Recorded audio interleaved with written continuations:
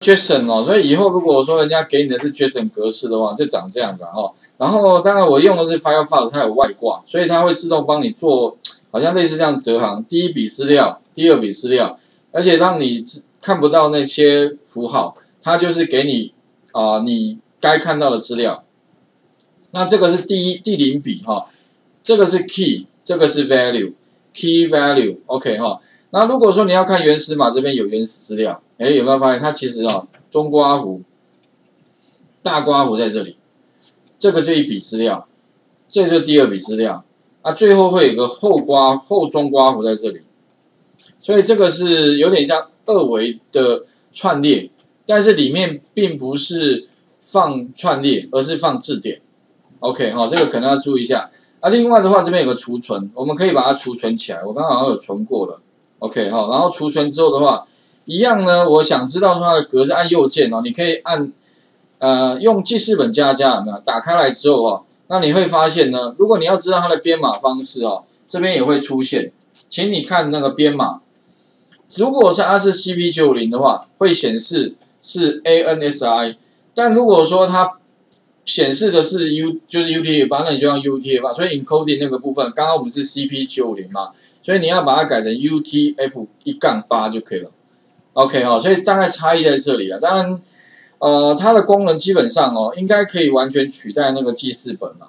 只是说，如果你没有装的话啊，当然就是差别就是要把它装起来哈。这个地方，那接下来的话，我们要怎么样把它 get 回来？所以第一步啊，跟前面一样，所以我们直接来看好了哈。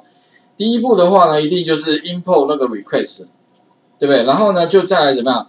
把这个网址贴上去。那网址部分的话，我刚刚讲过了啊。你其实你可以什么？从这个网页的这个地方按右键就可以。右键你可以什么？复制链接网址。所以以后呢，只要你要是点左键，它会下载东西的，你就把它改成右键，然后呢，用复制连接贴到哪里呢？贴到我们的 get 后面这一串就可以了。OK 哈。那再来的话呢，encoding 把它记得改成 UTF-8。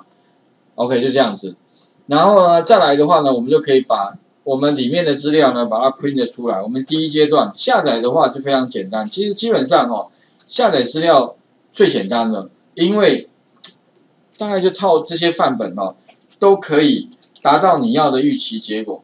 那可能比较麻烦一点，就是说，那可是他已经帮我下载下来了，就这个东西。OK，那我要怎么解析它？因为我要解析的话，一定要把它怎么变成像那个一个串列，有没有历史二这样的形态？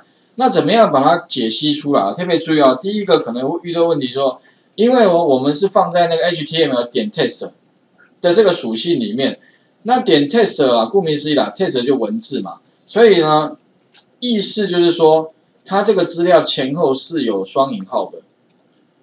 OK，那。如果说呢，哈前后有双，那是自串哦。可是你看到它里面实际上是放所谓的中刮弧，哎，那如果说我今天的需求这样，我希望哦可以把外面的那个双双引号的符号拿掉，我要取得里面的资料的话，特别注意哦，你就要想到一个函数，这个函数叫 eval，e v a l，eval。那这个函数主要用意是什么？就是哦，你可以把这个双引号的东西去除掉。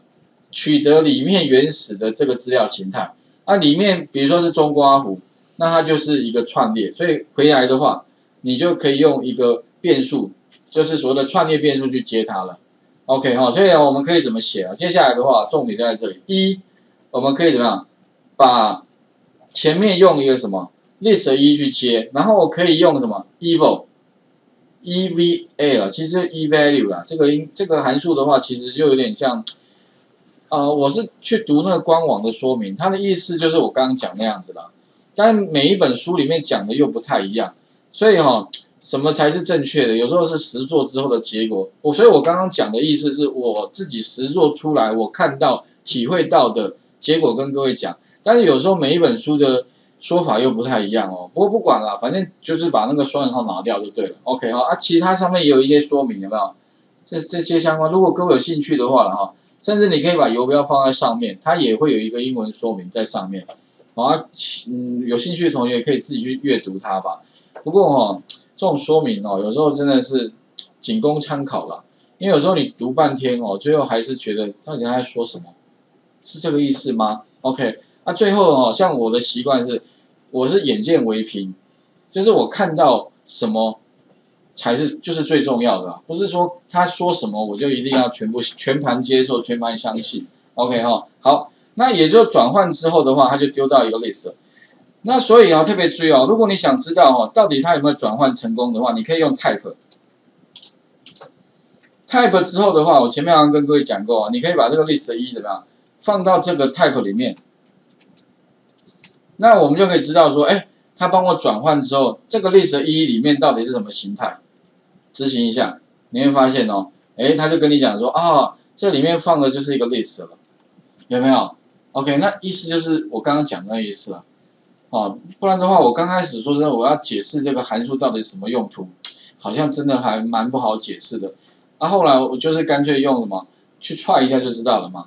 所以有的东西哈，就是你要自己可以用很多方法去了解到底它里面放的是什么哦，就是对的啦。OK 哈，好啊，这个地方的话呢哈，我们就知道说，哎，这个地方啊 list，然后并且它里面是帮我放什么，你也可以把它 print 出来。哎，print 出来结果，后来哎有没有？就这个东西，啊，这个你会发现上面看到跟下面看到一样，好像一样哦，但上面是一个字串，下面的话呢就是一个 list。OK 哈，好，那再来的话呢，我们必须要做什么？其实我们要的东西哦，是把这个 list 在这个 list 里面的每一个，所以可以用什么 for i in range 或 for each 的方法，把它每一个每一个读出来。其实这里应该是 for each，因为它没有栏位名称。那 for each 的写法，一个一个把它读出来之后，但是我只要什么？我不要那个 key 啊，我只要后面的 value。所以你可以用什么？用那个 list 一里面去取得什么？取得那个 value。所以写法特别重要，在后面这里。哦，时间的关系，我我前面有讲过。那我就把什么呢？把这个 list 一里面的每一个一个的一个的帮我读出来。所以你会发现哦，这个直接这样看。那意思就是说呢，哈，它可以先帮我先读第一个出来，第一个的话是这个，OK，然后读到哪里呢？读到这边这个 DICT 里面，那我可以透过这个 DICT，它有点像是一个呃暂存的一个字典，这个就先读第一个哦。那我只要读取它里面的 value 的话，你就后面加一个这个的 values，意思说我只要后面的资料哦，那前面的资料是 key，我不要，那。丢到一个什么呢？丢到一个 list 里面。不过特别注意哦，因为它是字典的一个栏位，所以你要丢的时候记得它多一个步骤，外面要多一个 list 转型。如果你没有做 list 转型，会失败。丢过来的哈就不会是串列，而是叫什么？你可以试试看啊，应该也是一个字典的一半嘛。OK 哈啊，所以呢，透过一个串列转型之后的话，那我们就可以得到。后面的部分哦，所以我把它 print 出来给各位看一下，这个可以把它把它取啊，把它注解掉，执行看一下得到的结果是不是第十二？不过哦，那个环保组那个网站好像有点累格，有时候会卡卡的，没有那么快啊。啊，如果等一下你们一起用的话，哇，那可能会卡的更严重。我现在已经卡很久了，出来了吗？怎么还没出来？好，再来就看到就是什么？就是类似像刚刚我们从串列里面再哎出来的，OK 哦好，所以待会如果你们卡很久的话啊，是算正常的哦，OK，所以先跟各位说一下啊，好，所以呢，哎你会发现这个东西跟刚刚我们有没有看到的东西一模一样了，所以再来的话，其实动作都一样喽，有没有？就把这个 list 二怎么样，再 append 进去不就好了？所以剩下的动作各位应该都会了，哦，我就不赘述了。所以待会可以在第三个步骤，就是我们刚刚讲第三个步骤，新先新增一个资料库，然后一个资料表，有没有五个栏位？有没有一样嘛？五个栏位，然后再用什么 insert into，看你要用 SQ 还是用 SQ many 都可以。所以后面部分哦，请各位就自行完成啊。如果实在没有把握的话哈，云端上其实我有放了，所以我刚刚讲的东西在第十三页。OK，这个地方哦，下载有没有？然后写入的话呢，哈，也在第十三页这里。那其实都一样的东西啦，哦，只是说我我没有加那个 SQ many，SQ many 自己加好了，刚刚讲过了。啊，再来其实还可以用其他方法啦。其实，在啊读取 JSON 哦，其实还可以用那个 JSON 的另外一个 module。不过这个 module 哈，印象中好像也是要 import。我不确定说它有没有预设就已经帮你装到我们函式库里。如果没有的话，变成你还是要到那个刚刚好下指令 pipe install 空一格 JSON，它才会帮你安装。如果没有的话哦，你如果你看到 no module name 的叫什么 Jason 的话，那你就是要自己去用 pipe 去把它装起来。啊，如果有那就不用装了哦。大家应该知道原理原则哈。啊，也是可以把它抓下来了。不过我是觉得好像那 JSON 讨不到。便宜啦，没有比较方便，哦，所以这个地方就给各位参考。那最后的话，哈，各位可以试试看，说，因为刚好同学常遇到问题，说，老师我那个哦，希望可以把 JSON，因为 JSON 有时候太太不太呃适用于其他的城市，比如说你把 JSON 给用 Excel 的人好了，他一打开之后完全不能，啊，完全没有办法做解析嘛，因为 JSON 跟 Excel 完全。没有办法相容，所以他有个需求，他说：“老师，你可不可以哈教我怎么样把那个 JSON 呢自动呢转换成 CSV 啊，帮我存档，因为将来我可以把这个 CSV 直接就给人家，人家就可以用了。哎，要怎么做？其实答案就在下面了。不过你们先不要看，你可以想想看，哎，怎么样可以？其实很简单啊。如果你刚刚这个地方已经做出来的话，没有，其实就已经可以把这个东西哈。”把它再加什么，一个个存抓出来，然后后面加逗，就中间加逗点嘛，然后在后面加换行嘛，然后最后呢用 F 物件，你们 F 等于 Open 一个档案，然后 Write 出去，把这些东西 Write 到那个档案，啊不就存档了？啊，所以其实哦要把 JSON 哈转成 CSV 哦，并没有想象中困难。哦，那请各位先试一下，来画面先还给各位哈。所以这边的话主要是下载 JSON 之后。